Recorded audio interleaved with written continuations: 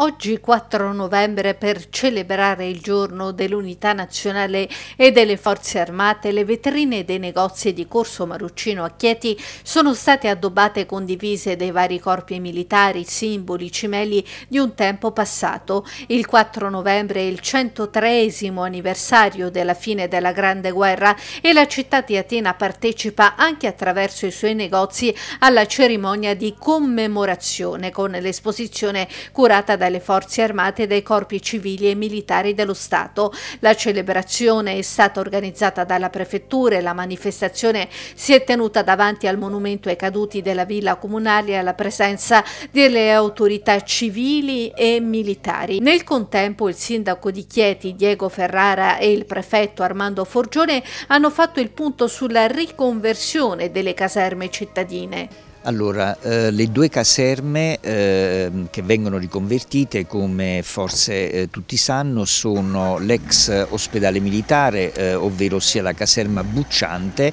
e la caserma Berardi. Per la Bucciante, ehm, per, della quale si è parlato con un accordo di programma alcuni anni fa, siamo a buon punto in quanto in essa saranno allocate eh, l'archivio di Stato, eh, la biblioteca, la nuova biblioteca provinciale De Meis, la Pinacoteca e ehm, una, una, facoltà eh, probabilmente umanistica eh, dell'università o una sede di eh, dottorato. Pensiamo che a breve, eh, un anno, un anno e mezzo, eh, questa, questa, sede sarà eh, ridata ai cittadini nella pienezza della loro funzione. Per la caserma Berardi i mh, lavori stanno procedendo.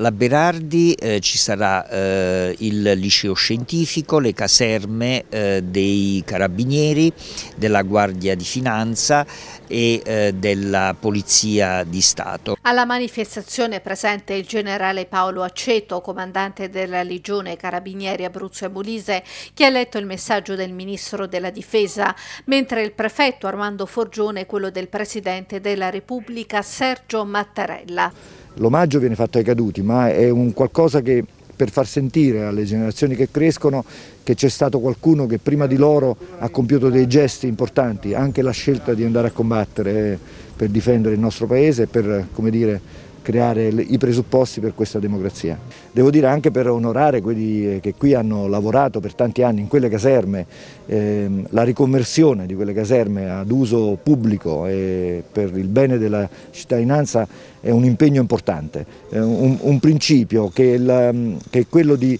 eh, continuare a far vivere quelle caserme che hanno, grande, hanno, dato grande lustro a questa città e, e farle vivere attraverso delle istituzioni pubbliche, dalle scuole alla, dire, alla caserma dell'Arma dei Carabinieri, alla Guardia di Finanza e perché no, al ritorno dell'università qui in città. Onore ai caduti di